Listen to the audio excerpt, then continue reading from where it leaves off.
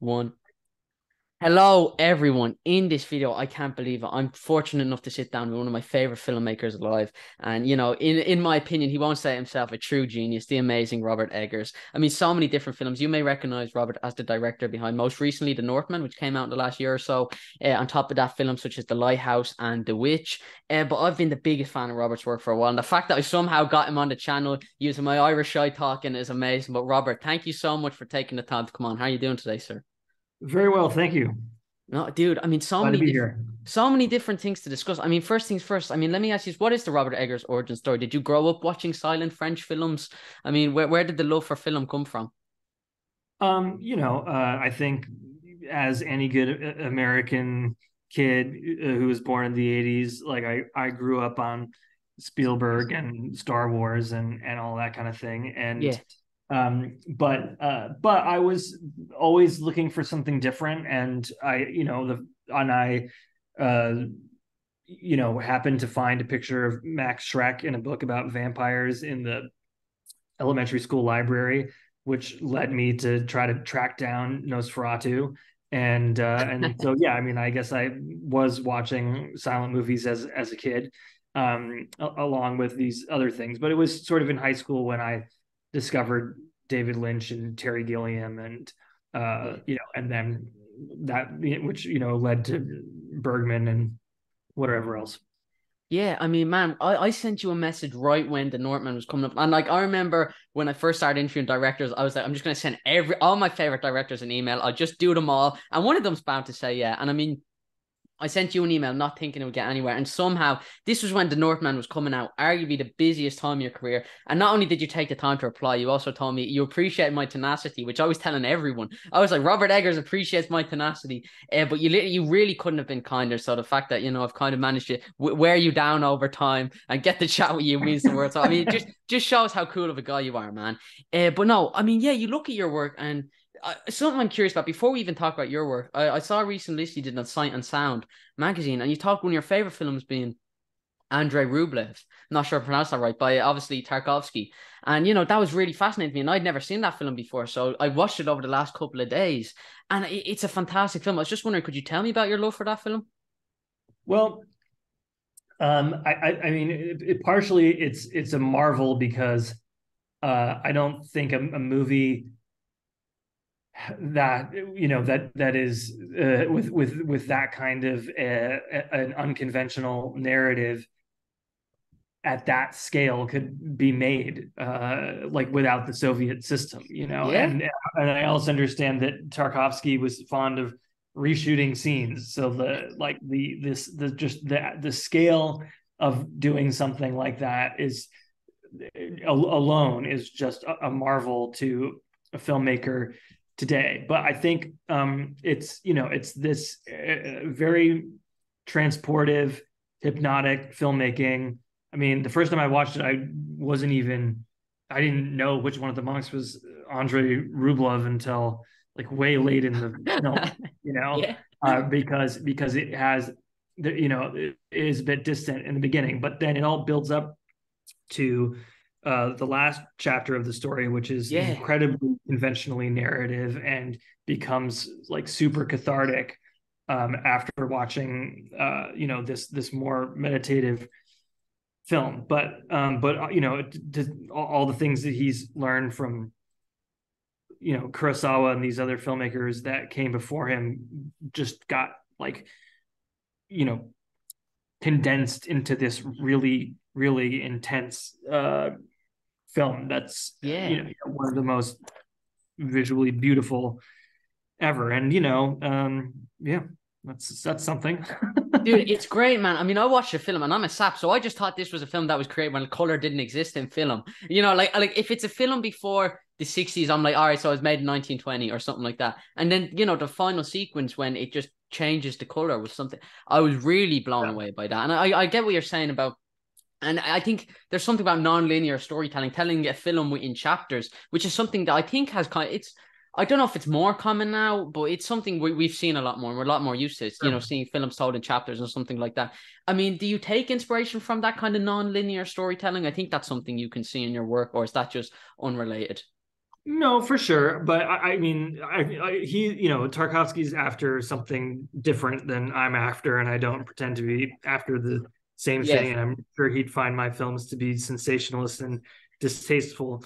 But, um, but there's certainly, um, uh, you know, a, a lot to be learned, and you can I mean, you can see direct literal influence on the, you know, the the Tartar raid oh. in the Northman. I mean, it, like it's it's you know, there's things that are certainly one to one.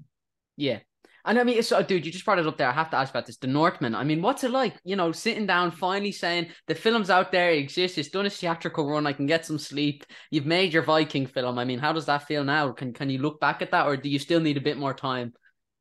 Uh, I mean, it's it's. I'm glad to have done it. Uh, yeah. I learned a lot, and uh, and it's definitely preparing me for the, the next thing. That's for sure. Um, I just I can't. It's it's. Uh, I can't quite wrap my mind around how much I learned. Uh, and and you know, and in the end, thanks to streaming, uh, like it, it did well and found an audience. So that's uh, that's great. Yeah, man. And I mean, I loved it, and I think you know, is it true that did you shoot some of this in Ireland? I mean, I don't know how much you shot in Ireland, maybe some other places in the world, but did you shoot some of it in Ireland? Yeah, we shot um, most of it in in Northern Ireland, um, and yeah. uh, uh, you know, certainly we did some we we did some stuff in Iceland, but like all all of the land of the Rus was was in Ireland, and and and most of everything else was there. Um, and and just be, we were going to shoot more in Iceland, but because of COVID, we couldn't. Yeah. Um, and so a lot of so the farm, for example, that we spend most of our time in, in uh, the Icelandic farm is, you know, the foreground and the midground is yeah. uh, Northern Ireland, and then the distant landscapes are is are Iceland. Dude, let me ask you this: Did the weather work to your favor?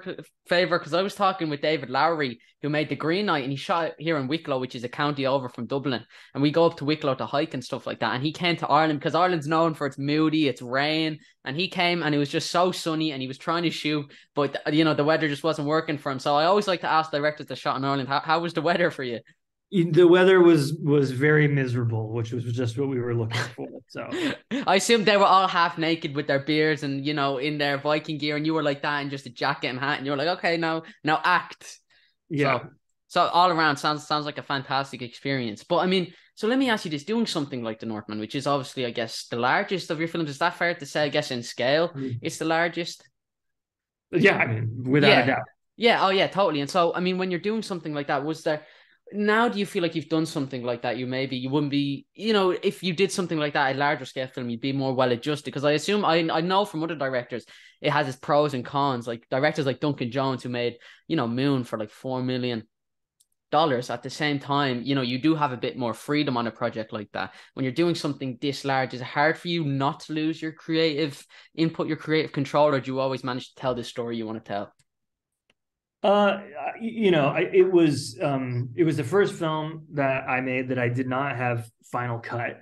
Uh, but uh, at the same time, I was given a lot of freedom uh, by the studio and a lot of control, and I basically got to do it my way.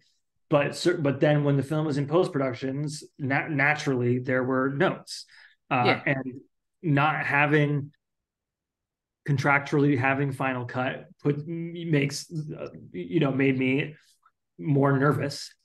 But i think that you know Sjón uh, my icelandic co-writer said uh, you know we're creative people and it's our job to take these notes and interpret them in a way that makes the film better. And if we yeah. can't do that then we're not working hard enough. And i think that that was the only approach to like getting through the studio notes in a way that we you know felt like it was improving the film instead of instead of uh detracting from um our original intentions and straying from our original intentions. So it was it was that you know that part of it was probably the hardest thing i've ever done uh but i'm but i'm proud of it you know and and you know that you know there is no director's cut. The version yeah that uh, you see is is the director's cut. I put some um, deleted scenes on the on the on the Blu-ray, which I'm not.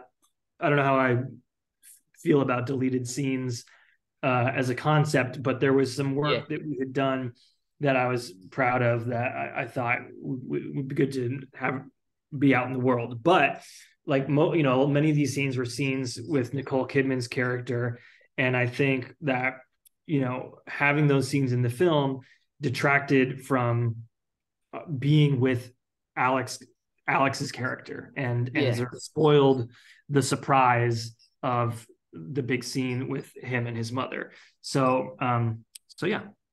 Dude, I mean, I absolutely loved it. Watching it in cinemas, it was my first Eggers film I got to see in cinemas, so it was an amazing experience, and it was so large. Me and my friend, you know, Ryan went to see it. My friend Ryan's the biggest Viking fan ever. So I mean, and you know, the fact that it was so historically accurate and really just a fantastic film. Was it nice to finally get sides back into your film? You know, when you're shooting with that boxy aspect ratio with the lighthouse, was were you were you sitting there like, wait, so I can actually I can use sides again in this film? It can be a Well, full I. I I mean I actually didn't like having all that extra room.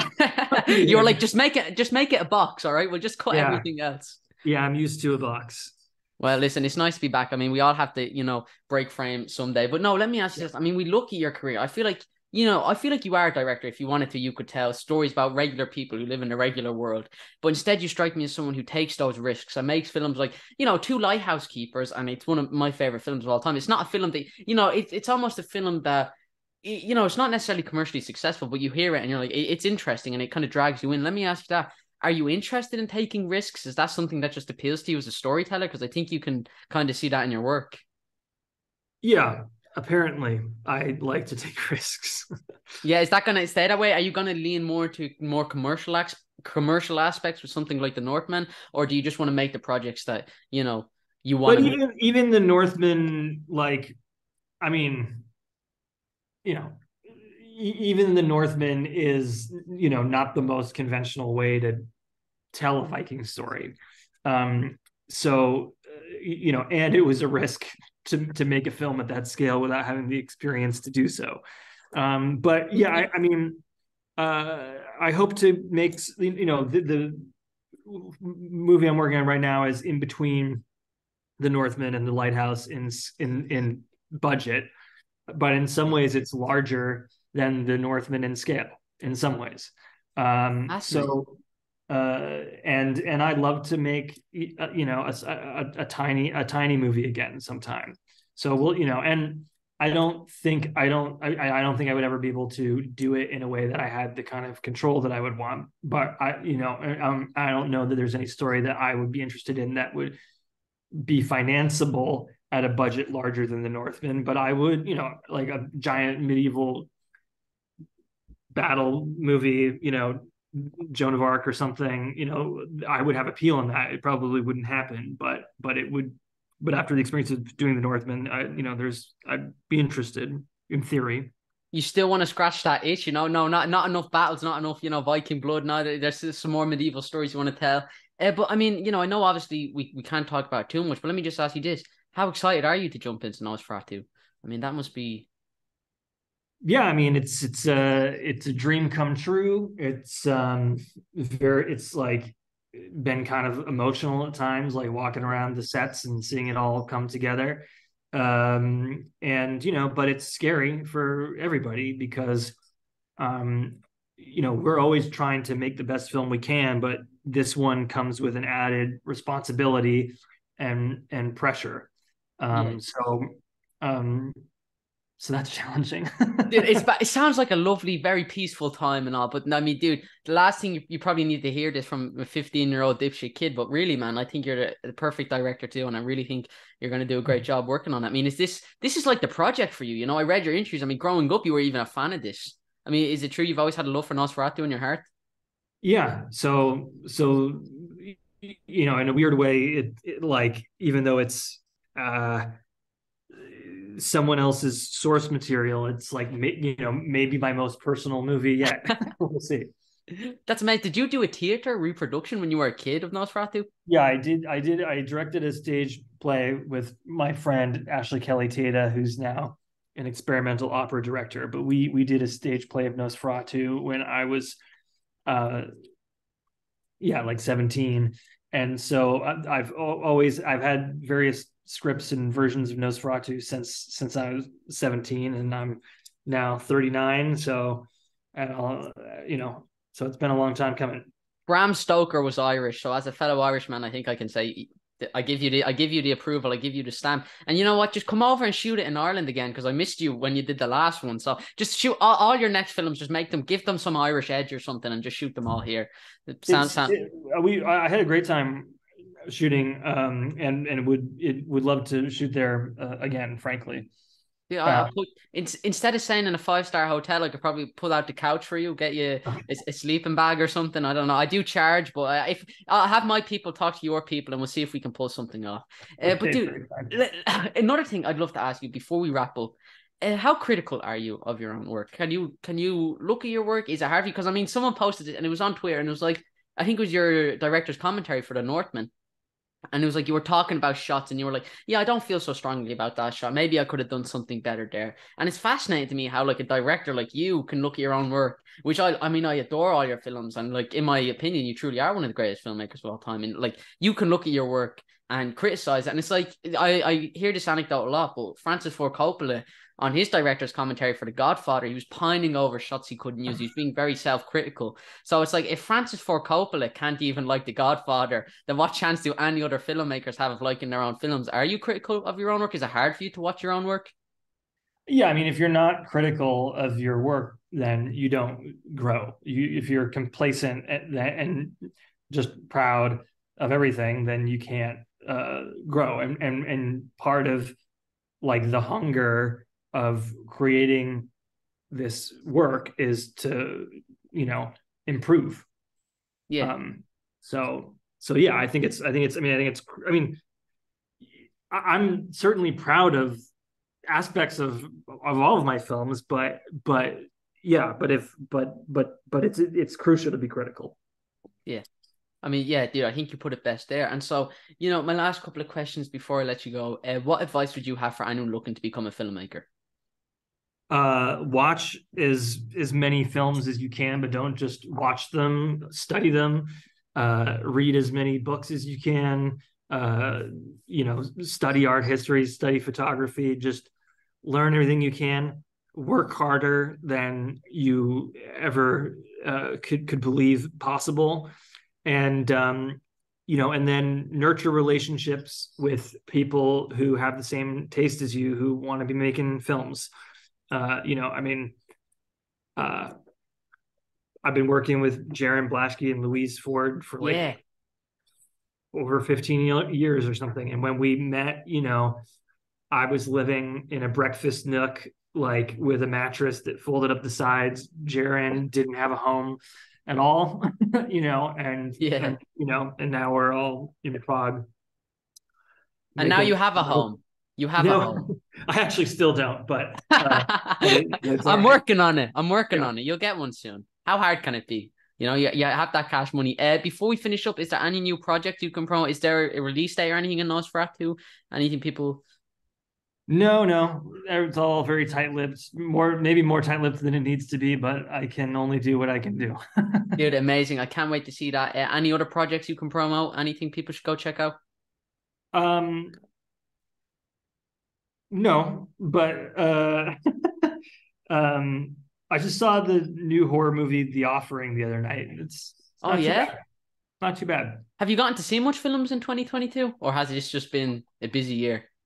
Um, not as many as I never see as many as I'd like, and I also have like my own syllabus of like old and obscure movies that I'm always trying to work my way through. So so, dude, I hope you get some free time soon. Uh, before we finish up, I don't know if you are, but you're on Facebook, Instagram, Twitter. Is there anywhere people can go follow you? I, I, I, I I'm, I don't do any social media.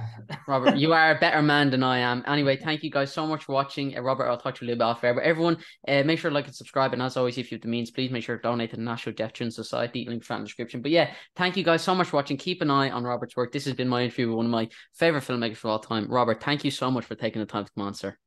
Cheers. Have a good